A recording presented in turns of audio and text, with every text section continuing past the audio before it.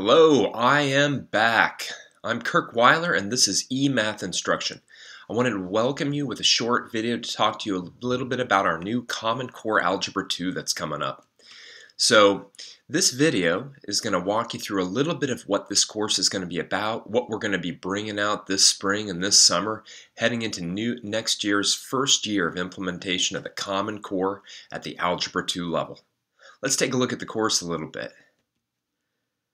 So we've got a workbook coming out and it's going to have all sorts of great topics in it, like more work with functions, exponential and logarithmic, sequences and series, imaginary numbers, those can't be real, polynomials, periodic functions, and a lot of work with probability and statistics. It's an exciting course. There's a lot of great topics in it, a lot of fun things to take a look at.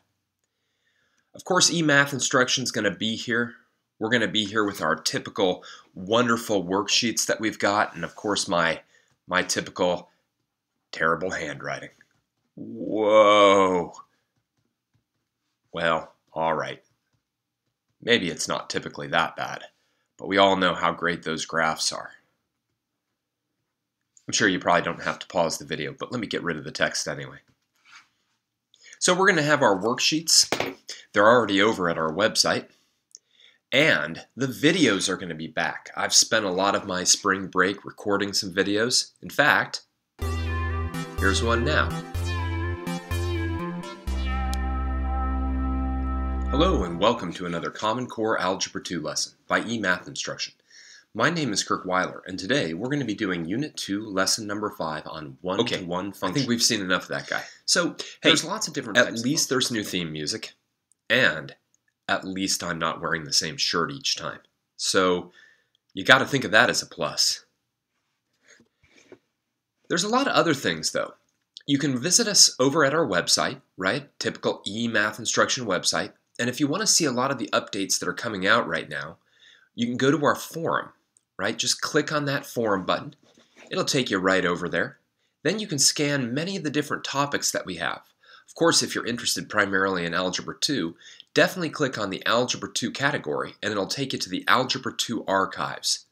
Scroll down in those archives a bit and eventually you'll come across where we've posted the entire first draft of Common Core Algebra 2. It's full of typos at this point, but by, as the uh, spring kind of wears on and as we head into the summer, we'll be getting rid of all of those just in time for August of 2015. I'm excited about a lot of other things in terms of Common Core Algebra 2. In the whole last year since Common Core Algebra 1 came out, there's a lot more resources out there. One of my favorites is a, is a website called Desmos. We'll be looking at that a lot. In fact, we'll be doing some work where we'll take a look at polynomials and how they behave um, and how their, their, their graphs are related to the factored form of the polynomial.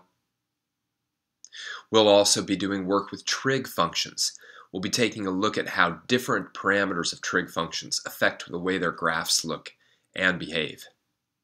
So there's lots of new things that are out there right now. A lot of ways that we're going to get to explore this course from statistical simulation to Desmos to a lot of other great things that will allow us to, to really play around with the math ideas at this level. So I'm excited about it. Common Core Algebra 2 is going to be a challenging course. Um, the first year that it's out there, we don't exactly know what to expect, especially if you're in New York State.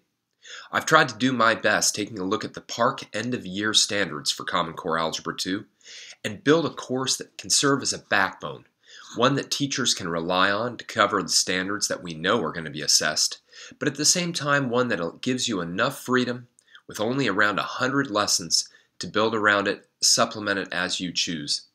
I hope the lessons, the homework sets, and the videos help both teachers and students navigate this very, very difficult course. Those of us who have taught Algebra 2 for years know how difficult of a subject it can be. And these days, with almost all students expected to take Algebra 2 as a ticket to college, well, we want to try to do it right.